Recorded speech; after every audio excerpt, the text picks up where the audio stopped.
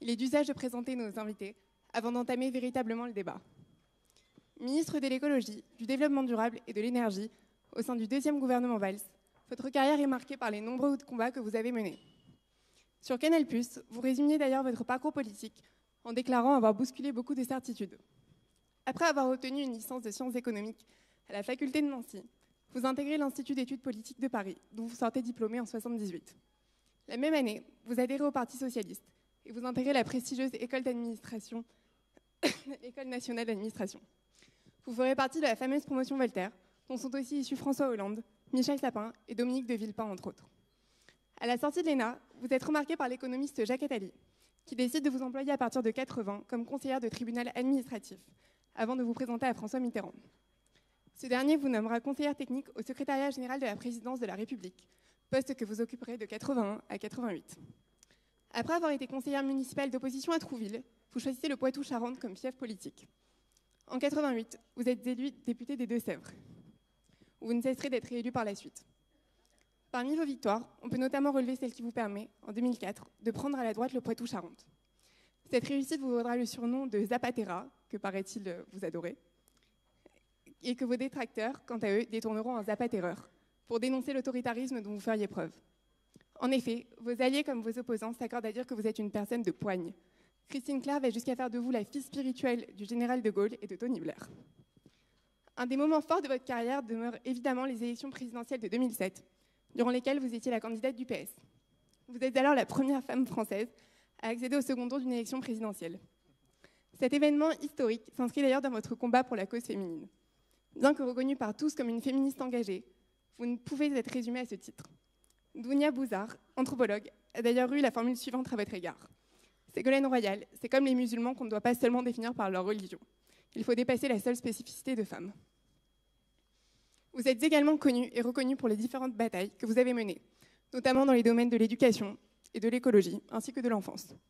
La question de l'environnement et de l'écologie semble d'ailleurs vous tenir à cœur depuis maintenant un moment. En 92, vous deveniez ministre de l'Environnement dans le gouvernement Bérégovoy et vous vous attaquez aux questions du recyclage et des problèmes liés à l'eau. En avril 2014, vous avez signé votre grand retour au gouvernement en succédant à Philippe Martin au ministère de l'écologie, du développement durable et de l'énergie. Dès la COP 20 à Lima, vous dites rêver que la France puisse préparer démocratiquement les esprits au changement. Et vous préparez un programme axé autour du réchauffement climatique et de la transition énergétique. Vous suscitez admiration, mais aussi critique. Le 13 mai dernier, Gérard Miller déclarait que pour lui, vous étiez toujours présidentiable.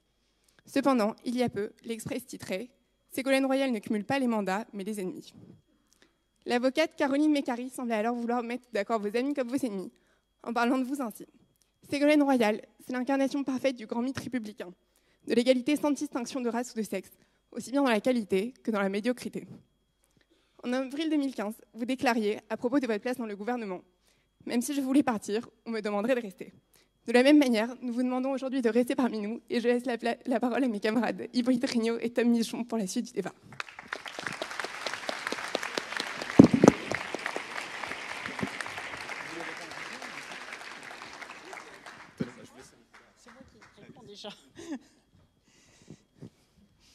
Bonsoir à tous et à toutes. Merci de votre invitation. À quelques jours de l'ouverture de la conférence de Paris sur le climat de la COP 21, c'est vraiment un grand plaisir de m'adresser à vous, vous qui représentez euh, la France du futur. Parce que finalement, si euh, on s'engage sur la protection de la planète, c'est d'abord pour vous, c'est d'abord pour les générations futures, pour transmettre le patrimoine qui nous a été euh, transmis en assez mauvais état, il faut le dire, pour ce qui concerne la planète, dans un meilleur état. Alors aujourd'hui, qu'est-ce qui va se passer? Effectivement, avec le contexte des tragédies, cet euh, événement international, le plus grand jamais euh, organisé, puisque 147 chefs d'État et de gouvernement vont venir à Paris le 30 novembre, et que, à l'heure où je vous parle, plus de 170 pays ont euh, rédigé euh, leur engagement pour réduire les gaz à effet de serre et pour réussir euh, à maintenir le réchauffement climatique en dessous des 2 degrés. Alors vous me direz, mais quel est le rapport entre les deux? Ben, Le rapport, il est très étroit. Il est très étroit parce que on sait aujourd'hui que, au fond, c'est le dernier moment pour agir Après, il sera trop tard. C'est le dernier moment pour agir et lorsque euh, l'on voit à l'échelle planétaire les catastrophes des effets du dérèglement climatique, lorsque l'on voit les migrations massives, les réfugiés climatiques, je vous recommande d'ailleurs une exposition extraordinaire que j'ai vue hier au Palais de Tokyo sur euh, la montée en puissance des réfugiés climatiques, plusieurs centaines de millions de personnes qui fuient l'avancée des déserts, qui fuient la désertification, qui fuient la déforestation, qui fuient l'effondrement des équilibres des communautés villageoises au regard de l'agriculture. Et donc, on sait aujourd'hui que le déséquilibre de la planète est dû aussi des phénomènes climatiques. D'ailleurs, je cite souvent euh, un exemple qui est le suivant et qui est cruellement d'actualité. En 2011, il y a eu en Syrie euh, une famine, une très grosse famine qui a entraîné des déplacements massifs de population, des agriculteurs qui étaient ruinés, qui étaient affamés, un million et demi de déplacés à l'intérieur de ce pays sur 22 millions d'habitants. Ils sont venus grossir les villes où il y avait déjà des réfugiés de, de la guerre, des pays voisins, et ça a complètement déstabilisé le pays. Et donc, euh, il y a un lien très étroit. C'est pour ça que j'ai envie de vous dire que ce sommet du climat, c'est le plus grand sommet pour la paix, jamais euh, réalisé. Et que nous devons redoubler d'efforts. On pourrait dire finalement la question climatique, elle est secondaire par rapport à ce que nous vivons, par rapport à la montée des terrorismes et des intégrismes. Eh bien non, il y a un lien très étroit. Et la différence entre les deux, c'est que dans la question climatique, il y a aussi une formidable espérance parce qu'il y a des solutions. Et ça va être ça le message de la France, le message que je vais porter au nom de la politique environnementale et énergétique française, c'est l'idée qu'il y a des solutions. Et donc, à l'intérieur de ces dix jours, ces onze jours de sommet sur le climat, il y aura ce qu'on appelle une Action Week, c'est-à-dire la semaine des solutions, où nous allons regarder avec l'ensemble des pays du monde l'ensemble des grands secteurs d'activité. Quels sont ces grands secteurs d'activité? Les énergies renouvelables, parce que vous savez que pour rester en dessous du réchauffement des 2 degrés, ben, il faut remplacer les énergies fossiles par les énergies renouvelables. Il va y avoir la question des forêts, puisque la déforestation est un fléau mondial, donc il va falloir replanter des forêts. Il y a notamment un grand projet en Afrique sur euh, la muraille forestière le long du Sahara pour empêcher la progression des déserts. Il va y avoir un sujet très important dont j'ai voulu l'inscription pendant la COP 21, c'est la question des océans, puisqu'il y a une pollution dramatique des océans, d'une part. D'autre part, le réchauffement climatique fait monter ce qu'on appelle l'acidification des océans, c'est-à-dire détruit aussi des écosystèmes très fragiles et qui sont en coordination, en, co, en, lien finalement avec euh, toute la chaîne du vivant. Il y aura euh, la question des villes, comment rendre nos villes respirables, les villes durables, les villes intelligentes? Il y aura également la question de ce qu'on appelle la résilience, c'est-à-dire comment est-ce que des territoires qui sont durement frappés par des phénomènes météorologiques extrêmes, comme les petites îles, par exemple, qui sont menacées de disparition à cause de la hausse du niveau des océans que provoque la fonte des glaciers, ou comment est-ce que tous les pays côtiers qui sont aussi euh, très directement menacés par la fragilité de ce qu'on appelle le trait de côte, c'est-à-dire ces villes qui euh, s'écroulent dans la mer dans certains endroits. Il faut savoir que dans certains pays d'Afrique, par exemple, les plages ont disparu en quelques années. Donc il y a une grande angoisse sur euh, l'avenir des pays côtiers. Donc c'est tout ce, sujet sur la résilience, c'est-à-dire comment est-ce que des pays qui aujourd'hui sont durement frappés par le réchauffement climatique alors qu'ils ne sont pas à l'origine du réchauffement climatique parce qu'ils n'ont même pas euh, accompli leur propre développement économique et qu'on leur demande de renoncer aux énergies fossiles, même lorsqu'ils en ont dans leur sous-sol, comment est-ce que les pays industrialisés vont réussir ce que l'on appelle le transfert de technologie, c'est-à-dire vont permettre à des pays qui sont actuellement en situation de pauvreté de se dire qu'ils vont sauter une étape, celle que nous, nous avons faite avec la révolution industrielle à partir du charbon et du pétrole. Donc on leur dit, vous allez sauter une étape et vous allez rentrer tout de suite dans le développement durable, c'est-à-dire utiliser les énergies renouvelables pour vous développer. Pas facile quand même pour les pays pauvres. C'est la raison pour laquelle, d'ailleurs, depuis des années, les sommets climat ont échoué, notamment à Copenhague. Parce que les, pays africains ont dit c'est bien beau, vous nous demandez de renoncer à apporter l'énergie ou l'électricité à nos populations qui sont dans la pauvreté. alors que nous sommes les premières victimes, nous, pays chauds, du réchauffement climatique que vous avez provoqué avec vos choix énergétiques. Et donc tout l'enjeu de la réussite de la conférence de Paris sur le climat, il est là.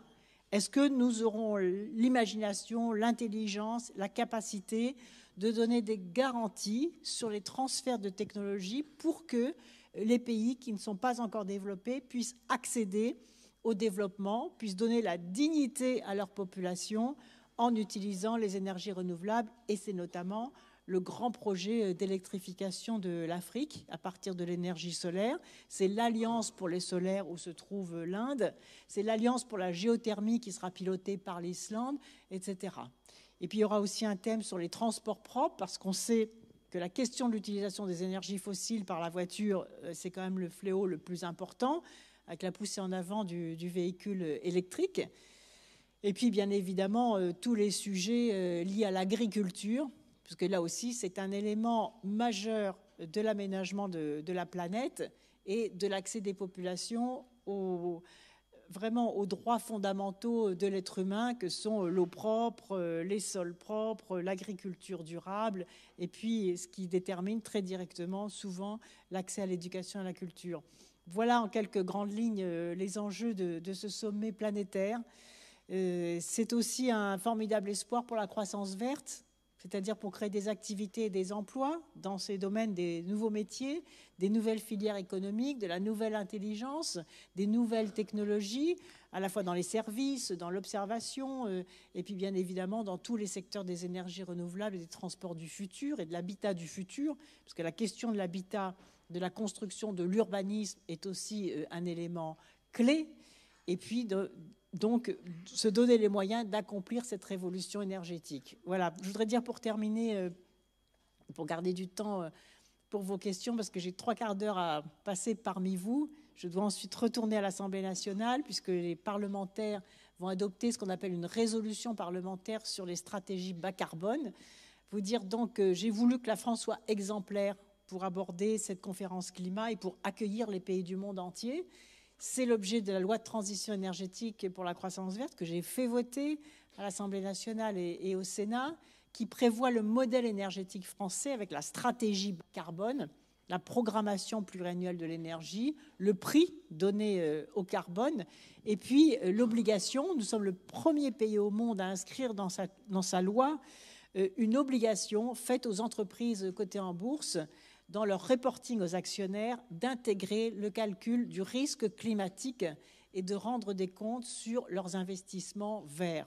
Et ce qui fait plaisir, c'est que les entreprises ont anticipé cette obligation. Donc il y a un groupe d'entreprises euh, qui est conduit par l'entreprise Engie qui se sont rassemblées avec Gérard Mestralé, auquel j'ai donné une mission, qui a rassemblé plusieurs grandes entreprises dans le monde entier qui vont s'exprimer pendant la conférence de Paris sur le climat en disant euh, vous avez raison, il faut donner un prix au carbone, il faut investir dans la croissance verte, c'est une chance à saisir. Nous n'avons plus le droit de résister euh, à cette nouvelle logique, nous devons accomplir cette nouvelle révolution industrielle qui est à la fois énergétique et numérique, puisque les deux sont liés notamment avec le, déploiement des compteurs intelligents qui doit permettre aux citoyens aussi de reconquérir leur citoyenneté euh, énergétique. Et donc, c'est un message tout à fait encourageant. Et je pense que dès lors que le milieu économique et les milieux des investisseurs financiers basculent dans euh, la volonté et l'engagement de déployer la croissance verte et la transition énergétique, alors je pense que le combat doit être gagné. Et pour dire à chacun d'entre vous, et surtout dans le contexte actuel, euh, et c'est aussi l'enjeu de chaque citoyen habitant cette planète, au fond que chacun d'entre nous a deux patries, la sienne et la planète, parce que les pollutions, les destructions des écosystèmes se jouent des frontières, et c'est pourquoi nous avons une, obligation de solidarité et de fraternité, et que le, fait de relever le défi climatique, c'est finalement le plus bel enjeu de fraternité planétaire, et merci d'y contribuer par votre présence ici ce soir.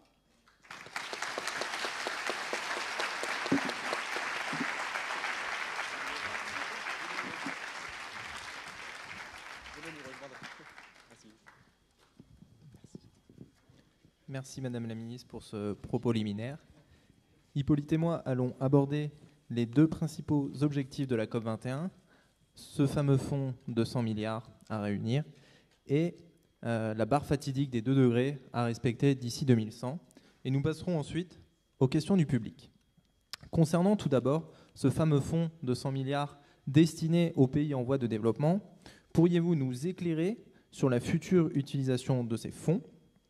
Et deuxièmement, concernant la destination de cet argent, n'est-ce pas justement cela le problème? Euh, Justement, c'est n'est-ce pas la cause euh, le manque de confiance des pays du Nord envers les pays du Sud, euh, les pays du Nord craignant une, une, évaporation de cet argent dans les poches de la corruption qui parfois règne dans ces pays émergents? Je vous remercie. Écoutez, c'est une question euh, cruciale parce que euh, les COP précédentes ont échoué parce que justement, il n'y avait pas de financement. C'est-à-dire que les pays riches disaient aux pays pauvres, écoutez, renoncez aux énergies fossiles, surtout ne faites pas euh, comme nous, mais débrouillez-vous. et là, il faut absolument des, transferts financiers. Ces transferts financiers, ces 100 milliards, ce n'est pas 100 milliards d'argent public c'est aussi 100 milliards des investisseurs financiers, des banques, de la Banque mondiale, de la Banque africaine de développement, etc. Je vais vous donner un exemple très simple euh, du besoin de ces transferts financiers. L'autre récemment, euh, cet été, j'étais au Sénégal et le président du Sénégal me disait, vous voyez, au-dessus de nous, il y a le soleil, il y a l'énergie solaire. Eh bien, ça me coûte moins cher d'importer du pétrole pour faire de l'électricité que d'utiliser l'énergie solaire. Tant que les énergies fossiles seront plus euh, seront moins chers en usage que les énergies renouvelables, il est absolument impossible de demander au pays de développer les énergies renouvelables. Et ce fonds, il doit permettre cela, c'est-à-dire il doit permettre par des crédits bancaires, par des garanties d'investissement, par des taux d'intérêt avantageux, il doit permettre aux entreprises d'équiper par exemple un pays en, en centrales photovoltaïques, en éclairage solaire urbain, euh, en outils de chauffage électrique et de chauffage pour la cuisine électrique, parce qu'on sait que 70% de la déforestation euh, en Afrique, c'est dû au bois euh, qui est utilisé pour faire la cuisine. Donc c'est quand même extravagant que encore aujourd'hui ce problème multiséculaire qui est connu soit encore une des difficultés qui crée la déforestation alors que et je le sais d'expérience pour avoir mené des actions de coopération décentralisée euh, avec, certaines, avec ma région, Poitou-Charentes, et certaines régions euh, d'Afrique, qu'avec des choses très simples et pas coûteuses et qui ne font aucune déperdition d'argent public si c'est en circuit court très contrôlé, il est parfaitement possible d'équiper les, villages euh, en four solaire, en réchaud solaire, et donc en, moyen aussi euh, d'utilisation d'énergie renouvelable qui empêche la déforestation. Et en même temps, quand on empêche la déforestation, bah, ça permet aux petites filles qui vont chercher le bois de plus en plus loin bah, d'aller à l'école au lieu de passer la journée à chercher le bois. Donc c'est aussi une dynamique de développement économique, d'éducation, d'économie d'énergie et d'absence de déforestation qui se met en place. Mais vous avez raison, il faut que cet argent soit bien contrôlé. Euh, parce qu'il ne faut pas non plus qu'on annonce 100 milliards et puis que dans, les, dans les villages, on ne voit jamais cet argent arriver. Et ça, c'est pire que tout, bien évidemment. Et l'ingénierie financière qui doit être mise en place est tout à fait importante. Merci beaucoup pour cette réponse, Madame la Ministre. Euh, parlons maintenant de l'objectif principal de la COP21, à savoir limiter le réchauffement climatique à 2 degrés euh, d'ici 2100. Euh, aujourd'hui, selon les Nations Unies, euh, les engagements des 147 pays participants, qui totalisent 86% des émissions de gaz à effet de serre de la planète, euh, devraient permettre de limiter la hausse de la température moyenne à 2,7 degrés seulement d'ici la fin du siècle. Par ailleurs, lors de son déplacement en Chine, François Hollande s'était félicité d'avoir décroché l'accord de la Chine pour la mise en place d'une clause de révision des engagements nationaux tous les 5 ans, destinée à accroître les engagements de chacun n'était-ce pas tuer dans l'œuf l'objectif des 2 degrés? Et pensez-vous qu'on puisse encore atteindre ce seuil aujourd'hui de 2 degrés? Alors il faut absolument l'atteindre, parce que ce n'est pas acceptable de rentrer dans la, COP 21 avec un objectif supérieur à 2 degrés. pourquoi? Parce qu'au-dessus de 2 degrés, vous avez des, des pays entiers qui vont disparaître. Les îles vont être submergées par les eaux. Et on voit d'ailleurs déjà certains États insulaires qui ont acheté des terres pour transporter leur population parce qu'ils savent qu'ils vont disparaître. Et donc pendant la COP 21, il y aura d'ailleurs tout un panel des pays insulaires qui tirent la sonnette d'alarme et qui disent vraiment euh, aux pays développés d'arrêter d'utiliser les énergies fossiles parce que pour eux, c'est une question de, vie ou de mort. Et ils demandent même euh, que l'on atteigne un degré et demi de réchauffement climatique. Le côté positif, c'est que c'était inimaginable il y a quelques années de penser que 170 pays allaient expliquer comment euh, ils allaient agir pour rester en dessous des 2 degrés. Alors c'est vrai que d'après les calculs, on est, au-dessus, on est à 3 degrés, mais moi je pense vraiment qu'il euh, y a une dynamique qui s'est enclenchée, que ça va s'accélérer, que les pays vont revoir leurs engagements, que les progrès technologiques vont permettre d'aller beaucoup plus vite pour la raison que j'exposais tout à l'heure, c'est-à-dire que dès lors que les entreprises basculent, dès lors que tous les maires des grandes villes, qui d'ailleurs vont être réunis, vont décider que les villes doivent être organisées autrement, qu'il faut faire des économies d'énergie, dès lors qu'il va y avoir des actions massives de replantation des forêts, par exemple, pour ne prendre que trois exemples, je suis convaincue que les choses peuvent s'accélérer. Et comme ça va prouver aussi que ça crée des activités, des emplois, ça donne du travail aux gens, que les entreprises peuvent créer de la valeur ajoutée avec ces nouvelles filières de, développement économique, je pense que les choses vont s'accélérer, mais il va falloir être vigilant et vérifier régulièrement si les engagements euh, sont tenus. Merci beaucoup, madame. On, va donc passer maintenant aux questions du public. Donc, euh, si vous avez des questions, vous pouvez lever la main. Un étudiant de l'association vous passera un micro.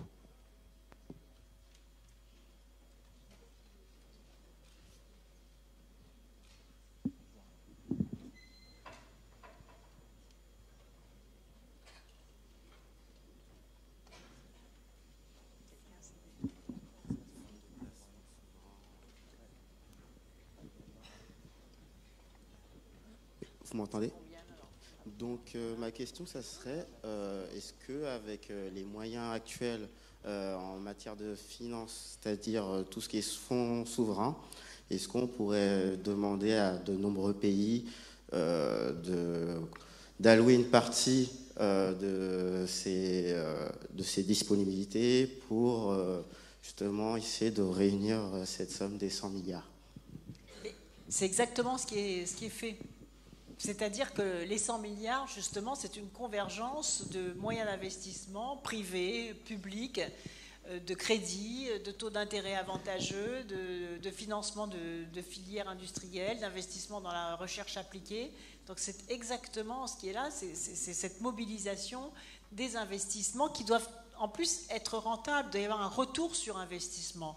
C'est ça qui est très nouveau. Ce ne sont pas des, subventions à fond perdu ou des aides au développement euh, à fond perdu. Non, ce sont des investissements dans des filières euh, énergétiques du futur qui doivent aussi être rentables, qui doivent aussi rapporter. Vous voyez, le climat, ce n'est pas quelque chose qui coûte, c'est ça qui est en train de, de se retourner. C'est quelque chose qui doit rapporter en termes de valeur ajoutée, en termes d'emploi, en termes de chiffre d'affaires, en termes d'innovation technologique, etc. Donc c'est ce pari qui est fait. Sauf qu'il faut amorcer le processus. Il faut bien qu'au départ, il y ait des investissements euh, qui permettent ensuite le développement de la production des énergies renouvelables et ensuite euh, le développement économique euh, des pays concernés. Et donc c'est une dynamique après de création de valeur qui doit s'enclencher derrière le combat contre le dérèglement climatique. C'est ça le nouveau pari qui est fait. Et ce qui est, très encourageant, c'est que maintenant, les réseaux des entreprises du CAC 40, euh, les fonds d'investissement croient dans cet avenir, croient dans la croissance verte. Et d'ailleurs, ils ont euh, bien pris en considération et bien réalisé que le fait de ne pas investir dans la transition énergétique allait coûter beaucoup plus cher le fait d'investir. Je vais vous donner un seul exemple, les compagnies internationales d'assurance. Elles investissent maintenant contre le réchauffement climatique. Pourquoi? Parce qu'elles sont incapables d'assurer les risques climatiques. Quand vous avez des tornades, des tempêtes, quand vous avez des villes entières qui sont submergées par les inondations, quand vous avez des écroulements de terrain, quand vous avez des feux de forêt que l'on ne peut pas maîtriser, elles ne peuvent plus assurer les compagnies internationales. Donc elles sont en première ligne du dérèglement climatique, du réchauffement climatique et de l'observation du risque climatique.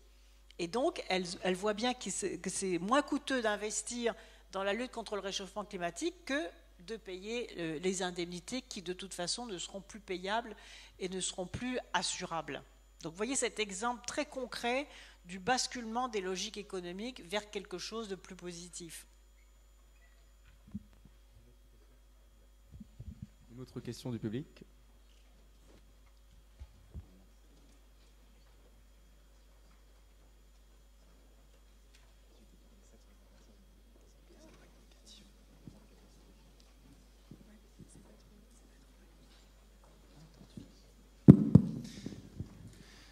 Oui, bonjour euh, Madame la Ministre. Euh, je m'appelle Brian Thévenet, donc en Master 1 Affaires internationales euh, à Paris-Dauphine. Je voulais vous poser une question concernant au projet de loi de votre ministère que vous a propulsé cet été, donc qui s'inscrit bien dans la logique de la présidence Hollande, puisque c'était un des comment dire, un des objectifs de sa présidence que celui de réduire à 50% notre énergie nucléaire. Donc, euh, sachant que je crois qu'on chatouille 75% actuellement.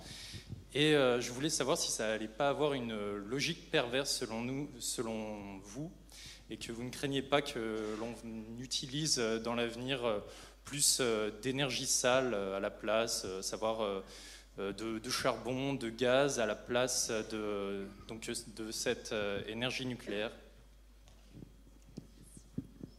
Alors euh, non, c'est pas possible, puisque la loi euh, prévoit la montée en puissance des énergies renouvelables jusqu'à 40% de la production d'électricité, et parallèlement la baisse de la part de l'énergie nucléaire de 75% actuellement. 75% d'électricité est produite par l'énergie nucléaire.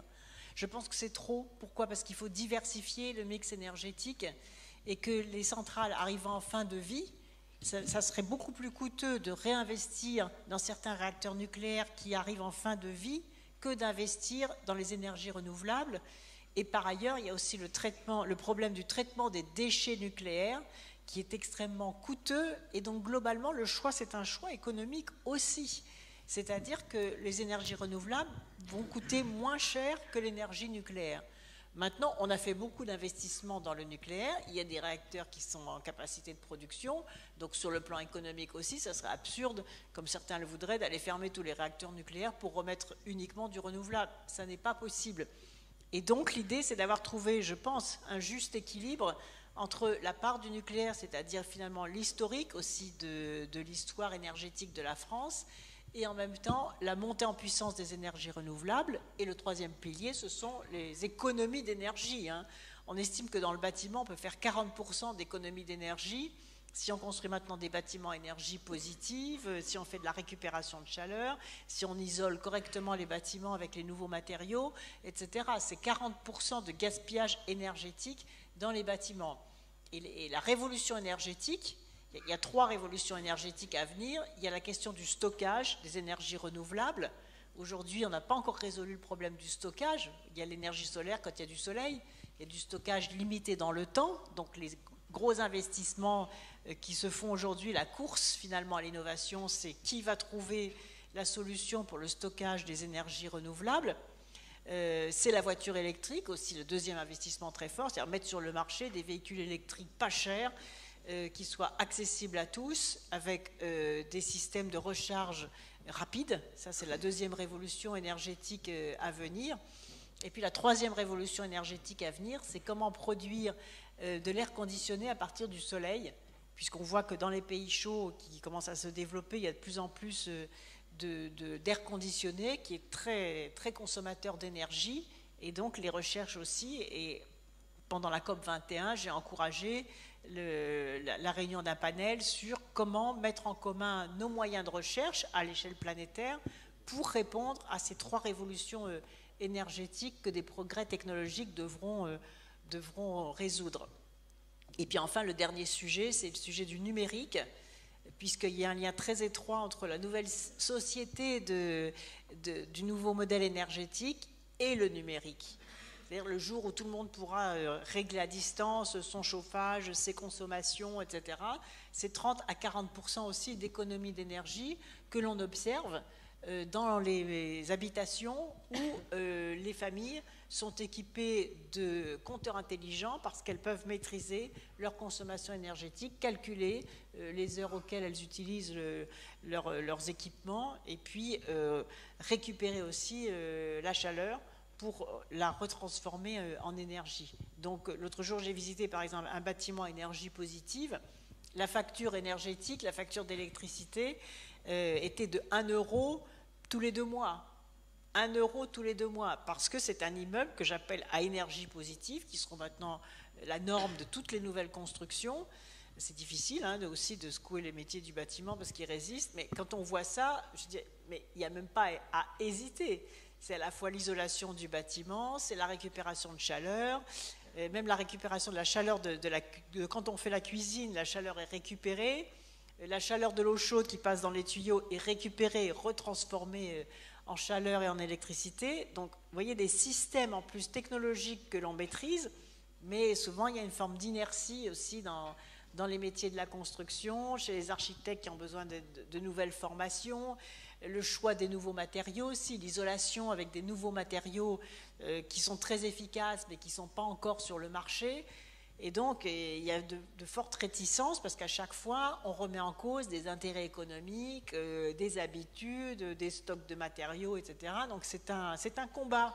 C'est un combat, cette transition énergétique. C'est une révolution, cette transition énergétique. Et pour ça, il faut, les citoyens dont vous faites partie, euh, ils ont vraiment un rôle très important à jouer parce que c'est à partir de la demande des citoyens que les entreprises sont obligées de bouger, que les pouvoirs publics sont obligés de bouger.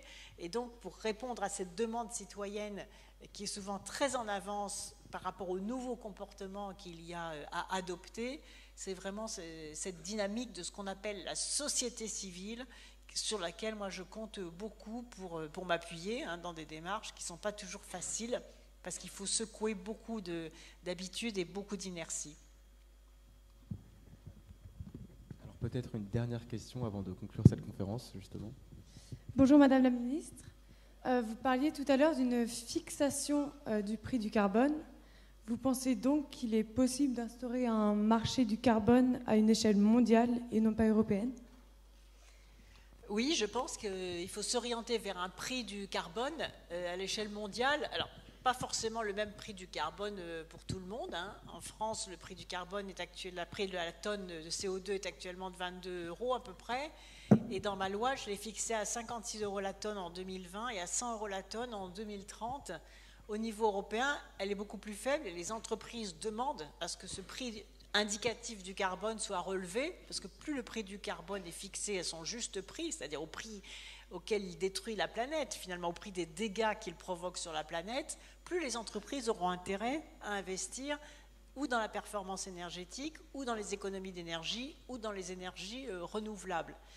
À l'échelle de la planète, 40 pays ont adopté un prix du carbone, plusieurs États des États-Unis euh, d'Amérique. Et pendant la COP21, comme je le disais tout à l'heure, la France va prendre l'initiative de faire cette coalition sur le prix du carbone pour faire en sorte que chaque pays fixe son prix du carbone, ce serait déjà pas mal. Et puis les économistes ont proposé aussi que ce soit un corridor carbone, c'est-à-dire avec un prix plancher.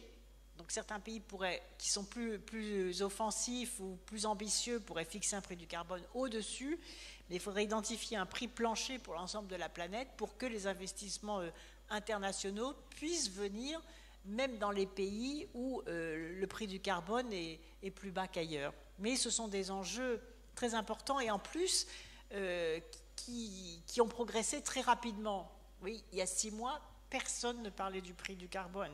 Quand je l'ai fait voter dans la loi au mois de juin, personne n'a relevé que ce prix du carbone avait été fixé dans la loi. Et petit à petit, quand les entreprises ont commencé à se réunir, ont commencé à demander un prix du carbone pendant la Business Week qui a eu lieu au mois de juillet à Paris, puis ensuite à New York au mois de septembre, les entreprises se sont à nouveau réunies, ont demandé un prix du carbone.